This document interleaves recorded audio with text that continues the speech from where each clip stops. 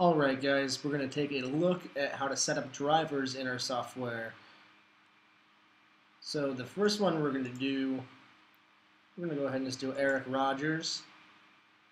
Now over here, I've already actually sent him up as a driver.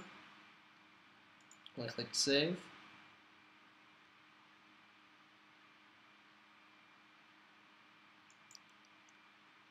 And then in drivers, we've got Eric Rogers over here now in assign. We'll assign him to St. Louis. And now we have to set his phone up.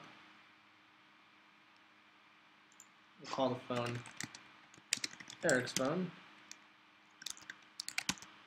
Eric's phone. Print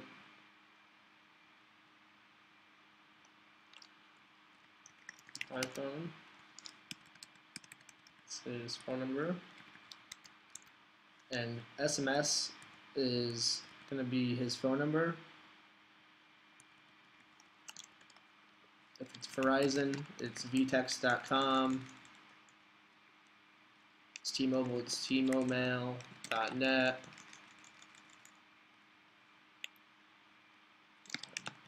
vtext.com and Daniel's put a link here that will link and show you uh, for instance messaging.sprintpcs.com it'll show you the full list of all the different phone carriers SMS addresses the email that he has set up to go to his phone. That's just going to be Eric's Gmail at gmail.com and again this is phone is going to be for Eric Rogers. We'll add it now that phone is here. It's for Eric Rogers. We can edit that phone if we need to. remove the phone if we need to. We'll go ahead and just go to Manage. We'll make sure we have Eric set up how we want it. We want him just to get percentage of the delivery fee. We're going to give him 60.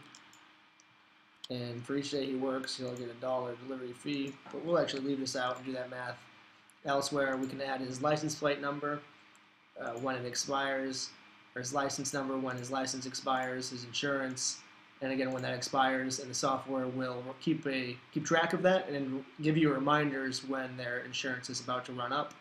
We'll click save on this page. Now we have Eric fully set up. We can actually hop over to our dispatching screen and we'll refresh. We'll see that we have Eric over here now in our drivers for St. Louis. And we can actually confirm this order.